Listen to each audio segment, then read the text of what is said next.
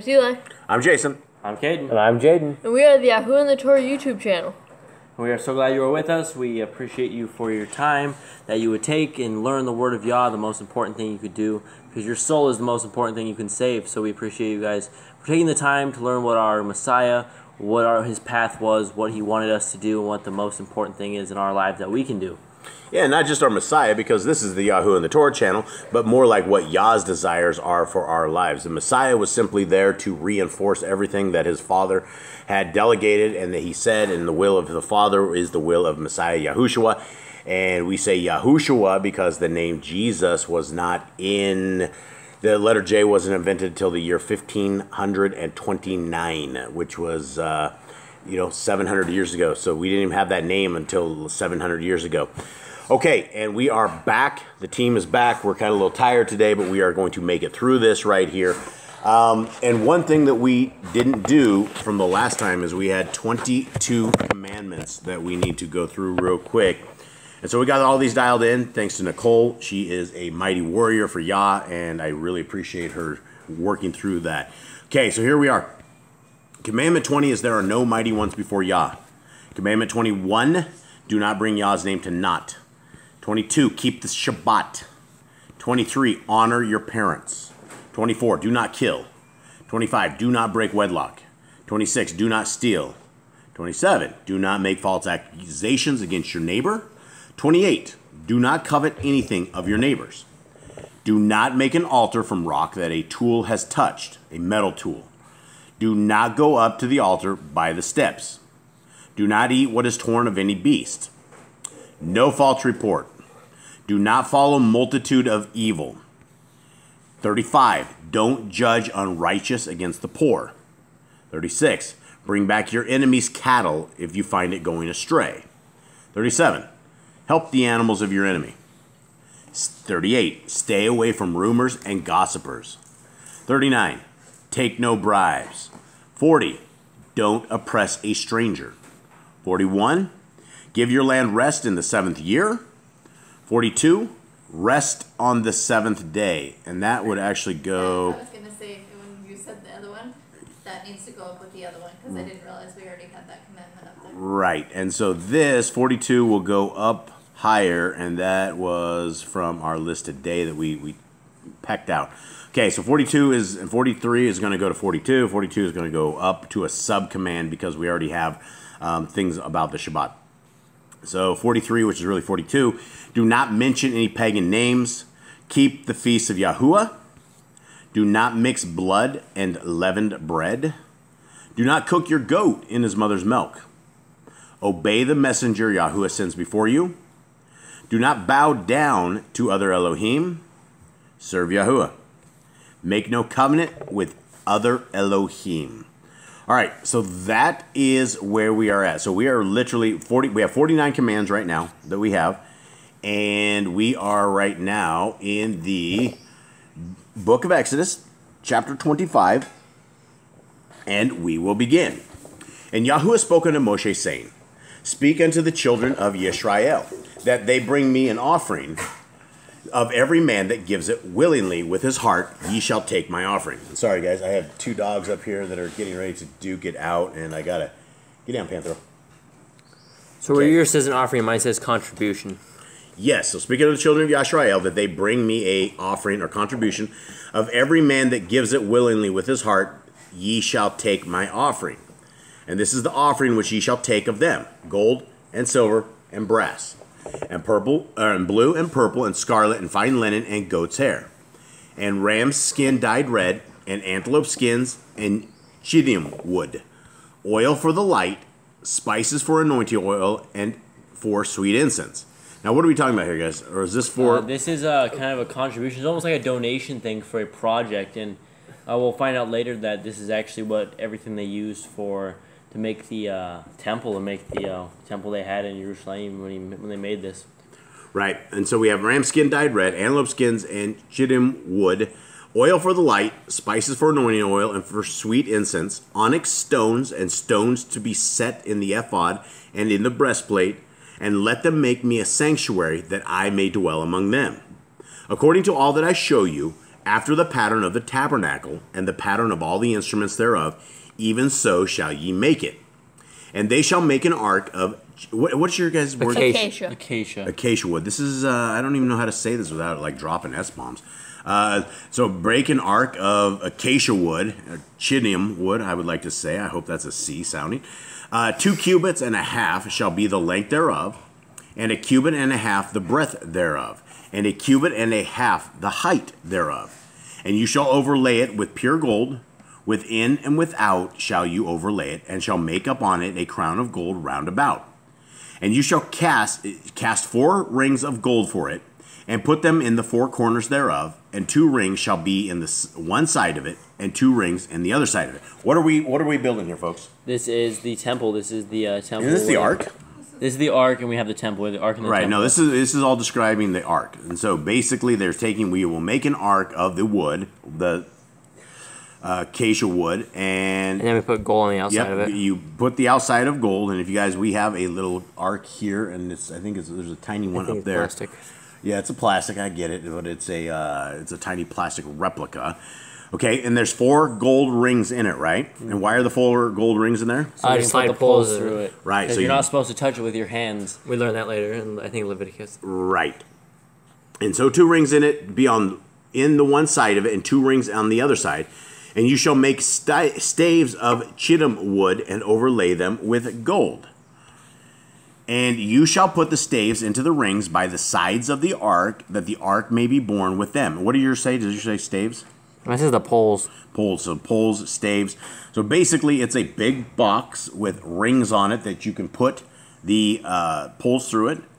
And um, the staves shall be in the rings in the ark; they shall not be taken from it. And you shall put into the ark the testimony which I give you. And you shall make a mercy seat of pure gold.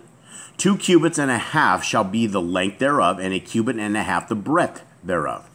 And you shall make two cherubim of gold, of beaten work shall you make them in the two ends of the mercy seat. Okay, so what is this saying right here?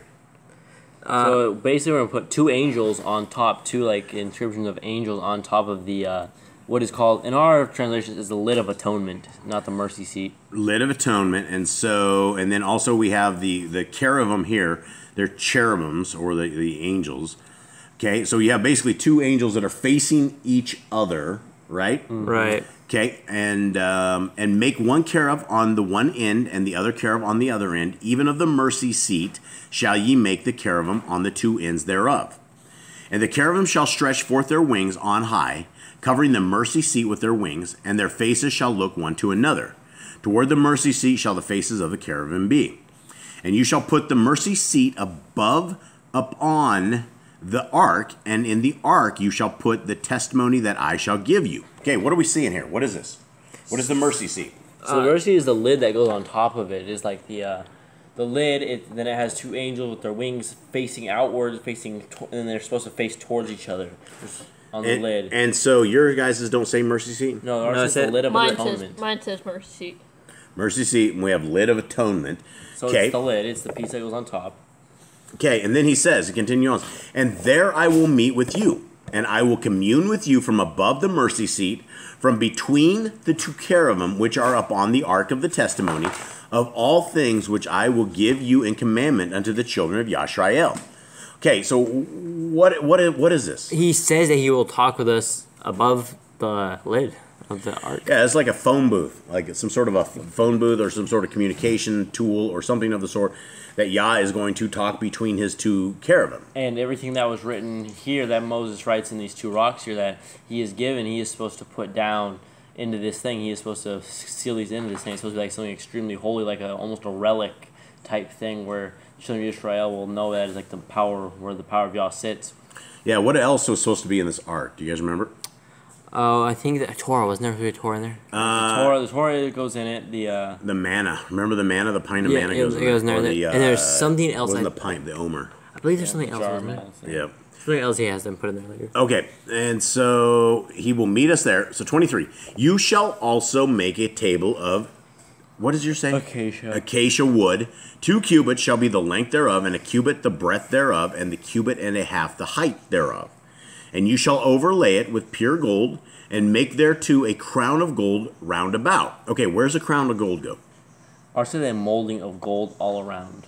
Oh, okay, so the lid or the box has It's has. supposed to be cut like overlaid with gold, like a golden ring around it. The more we build this box, the heavier it gets. Yeah, this is definitely a heavy box. A rim or a molding. What does it say? A rim or a molding. A rim or a molding. Okay, so we have a uh, the rim or a molding all around. Yeah, I feel bad for the Levites had to carry this around for seven days around Jericho. Yeah, well, they probably swapped off. And you shall make unto it a border of a hand breadth round about, and you shall make a golden crown to the border thereof round about. And you shall make for it four rings of gold, and put the rings in the four corners that are on the four feet thereof. Over against the border shall the rings be for places of the staves to bear the table. And you shall make the staves of chittim wood and overlay them with gold, that the table may be borne with it. And you shall make the dishes thereof, and spoons thereof, and covers thereof, and bowls thereof to cover withal of pure gold shall you make them. And you shall set upon the table showbread before me always. And you shall make a menorah of pure gold, of beaten work shall the menorah be made. His shaft and his branches, his bowls, his knops, and his flowers shall be the same. Now it says our menorah is a his, right? Um, his, yeah. So his shaft and his branches, his bowls and his knops, these are all about the menorah. They're all his. Knobs. Mine says ornamental knobs. Does it say his? It's ornamental. Yeah, mine His says shaft, his branches, his bowls. And you should make a lampstand of clean gold. Lampstand is made of beaten work. Its base and its shaft, its cups, its ornamental knobs, and its blossoms. So it refers to it as it. It doesn't refer to it as a. This is this is like a masculine here. Yeah, it doesn't direct to it as a direct gender. Okay. And six branches shall come out of the sides of it, three branches of the menorah out of the one side, and three branches of the menorah out of the other side. Three bowls made like unto almonds, with a knop and a flower in one branch, and three bowls made like almonds in the other branch, with a knop and a flower. So in the six branches that come out of the menorah. And in the menorah shall be four bowls made like unto almonds, with their knops and their flowers. And there shall be a knop under two branches of the same, and a knop under two branches of the same, and a knop under two branches of the same, according to the six branches that proceed out of the menorah. Their knops and their branches shall be of the same, all of it shall be one beaten work of pure gold, and you shall make the seven lamps thereof. And they shall light the lamps thereof, that they may give light over against it. And the tongs thereof and the snuff dishes thereof shall be of pure gold. Of a talent of pure gold shall he make it with all these vessels. And look that you make them after their pattern, which was showed to showed you in the mount. All right, so let's discuss this. So we do not have any other commandments in this. Yeah, we're not really allowed to build this. This was a special thing for We don't, the we don't even know what it looks like. Levites to build here. We know what it looks like. It just described it what it is. Yeah, there's definitely you can definitely put it together. What is the point of what is the point of this? If we're not supposed to have any um, idols, or we're not supposed to have anything, what is? How is this not an idol? This is meant to be a sanctified holy thing, right? Because Yah has gold. He has gold from the beginning that he gave Adam and Eve. If you read the book of Adam and Eve, and gold was something he considered to be his own creation, his thing. It was his thing. So gold, when you overlay it with gold, you're overlaying it with something that he considers that to that he likes, that he considers well. And that's what he wants. Is that it's not meant to be an idol. It's meant to be That's something that worship the represents a creation Right. of Yah. Yeah. So we don't worship the ark. It's not a thing of worship. This Kind is of like a. Yah's If you worship Yah, yeah, Yah has his own set of decorations. This is Yah's house, and he keeps decorations wherever he wants. You see them. later he has a certain bit of favorite colors. We have he likes blue and purple and scarlet, and he overlays it all that throughout the entire uh, temple that he creates. Um, he likes his own decorations. His own form of decorations, holy decorations. what color is his favorite color? I think blue. Probably blue. Blue or purple? I would say I'm, one I'm of those. closer to blue. There's more blue, I think. You referred to more blue. He has more blue in there. It could be scarlet though. Maybe it's just Right. blue is more designer friendly. Right. So that is it. We finally have the band back, but we're extremely tired. So we're putting this down tonight, and so we will actually put this up tomorrow so that Eli and our uh, commitment to Yah is fulfilled. And you know, it's like something we're just we're really it's really important to us that we um, if we give an oath to Yahuwah, we need to fulfill it. And so this is one thing our family wasn't doing was taking the time out to do this consistently. We were doing it when we had a chance and the rain wasn't here, but now it's it's literally going to cut into our day, which is actually fine because we should be doing this anyway. We should be going over the laws, statutes, and commands of our Creator, and we should be writing them up on our hearts, our minds, our doorsteps, everything that we have. Gentlemen, you're not talking a lot. What can we do? We have anything else? Uh, Are you there's guys not good? a lot of commands here. There's a cool design thing he has here going on. Um, the next few chapters are kind of like this. It is nothing command that we can do because this was all meant for them, and the temple was indeed destroyed back in 70 AD, and he will be bringing a new temple for us when the Israel returns. So this is more of a historical chapter for us. This isn't a command chapter, but uh, right? yeah, it's just kind of a cool thing to look at. That Yah has his own design. He has his own personality. He puts into his own decorations, his own house, right? He puts Right, his own right. And- life into it. And how many? We're at, we're at Exodus 25. Here, let's take. How many do we have in Exodus? Can't believe 40. Okay, so we are halfway through it. Uh, almost halfway through it, right? Over halfway. Over halfway through it. And we have essentially 49 commandments as this. So I guess before we wrap up, um, these commandments here, do you guys have any of these commandments that are too hard to bear? What is the hardest commandment that you guys have out of this? Any anyone have any? Maybe the seven, take the year off of the whole seven. You like don't plant anything. This absolutely sucks. Okay, um, this program, Google, really, you know, for being a, a, a satan, satanic company, they're doing what they're doing. They uh, completely are botching this completely. And if you guys would please stop touching the tablet and taking this out, that would be absolutely great. okay, um, so with that, everybody, I think that we are going to call this. Um, we are dead, we're beat, and we are going to put this away. So it's not too exciting, but thank you to everybody who's who sat around our table and listened to this. And um, it's not always going to be exciting when we're reading the Torah. We are uh, pedaling through it the best that we can and trying to get everybody through this. We're trying to get this list solidified and solidified so that we are able to tell people exactly how many commandments of Yah there are. And to this point, I don't know if there's anybody that has this list. And so it is of kings and such that recite and write the Torah. And so it is something interesting that we can uh, we can actually do. And um, so here we are. Anything else? Anyone else? Uh, read your Bibles. Uh, stay in prayer. Hopefully, we see you guys tomorrow. And uh, yeah, just keep reading the Torah for you guys yourselves. Don't just let us read it for you guys. Take your time and read it for yourselves. Understand it.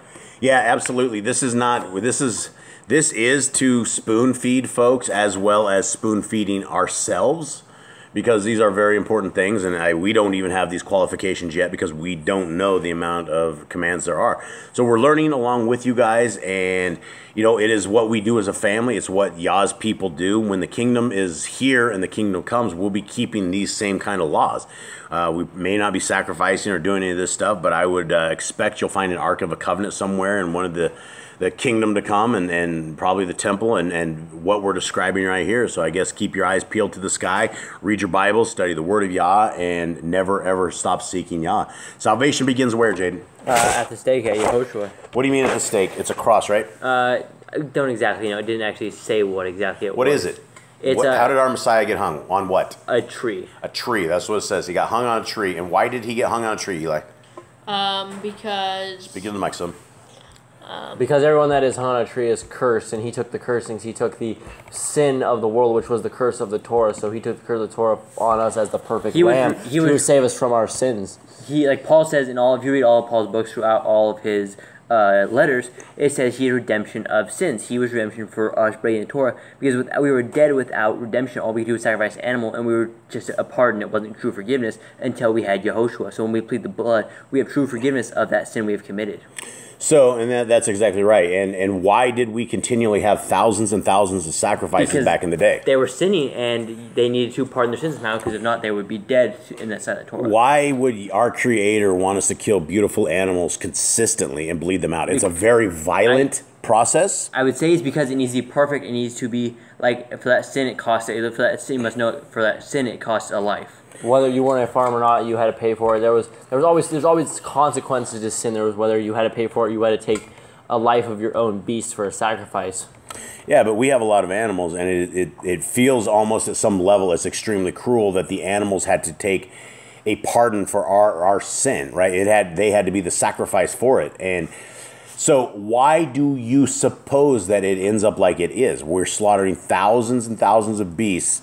Um, why does this? Why why does our Creator want this? Um, Or why did He want this? well, he said he didn't. He said he would rather have us obey than sacrifice. Mm-hmm. And so he doesn't. He doesn't want us to keep killing animals. He wants to stop sinning. Just do it. Just do what he tells us to do. But he, we had to have this for some kind of redemption to know that we were truly sorry for our sins. Okay, because I'm not getting what I'm looking for here. Why do you think that what what's what is a why would our creator take this as uh, you know he doesn't come and destroy you? What are you doing for him that he would not do this? Feeding his Levites. Um, Not feeding his He leaders. like scent. He maybe likes the smell. Ah, there we go. That's what we're touching on to. Okay, You're so basically appeasing to him. You're basically appealing to him, waving your peace offering to him. but it's I don't believe it is the actual killing of the animals. It is something else afterwards. it's like What the you- fragrance that the up. fragrance, right? And there's certain things that he says you don't mix certain things, you don't add things into this. all right, He had a special recipe that uh, we'll find out Each later as we go through the book that says, "Here's the ingredients, but do not nobody uh, outside Levites is allowed to make this, or they're cursed for life." Well, well, okay. So let me let me take this. The the people of the world say we're on a round ball spinning. We're we're a tiny little dot in the middle of a galaxy, out in the middle of nowhere. Why would we be killing the animals and letting our Creator smell them? Where would He be possibly? Uh, that- he's right, right next to us. I think he's right near. us. I think he's with us at all times. Yeah, you know, the Bible says the foundations of the earth, it, it says it's unmovable. And we've been told and we've been lied to our entire lives that we're spinning through, we're an endless vast system and that there's other lives out there and this all this other stuff. More than likely, if our creator is able to sit and smell something like cinnamon rolls coming or something that you would smell in a kitchen, something that you're close enough that you're able to see this. So if our creator is close enough, why would they tell us our creator's long ways away? Uh, So maybe Keep keep, us away maybe from him. keep So us we keep- sinning so he doesn't think we're like consistently seeing us and seeing our sin so that we can do what we want because he's not watching us. It's like it's like a kid, right? A kid's not gonna sit there and steal the cookies out of the cookie jar while his parents right behind him. He's gonna wait till his parents are gone to steal the cookies. And if we're insignificant, we're just like a little speck, and there's all these other worlds and all these other things out there, then, you know, how could our creator really truly be um, interested in us, right? How could There'd be so much more in the world and the universe to look at, but he chose us. He created us. I don't know if there's other planets. They might be stars that he talks about in Josh how the fallen became some stars and stuff. Yeah, and I, I believe that our creator is sitting outside our dome. I believe that we are a flat land. I don't know what shape it is, and it's not really up for arguing. I can tell you as a a microwave engineer for most of my life, there is no curve. And so if we cannot get past the curve, there's no reason to even argue about the rest of the stuff that we've been lied to. And our, our government lies to us, our leaders lie to us, our politicians lie to us, everybody lies to us. So somewhere something is uh, amiss where they tell us that we're just a little speck blowing. You know, we're, they say we're spinning a thousand miles an hour one way and, and hundreds of you know they were just we're all sorts of wobbles.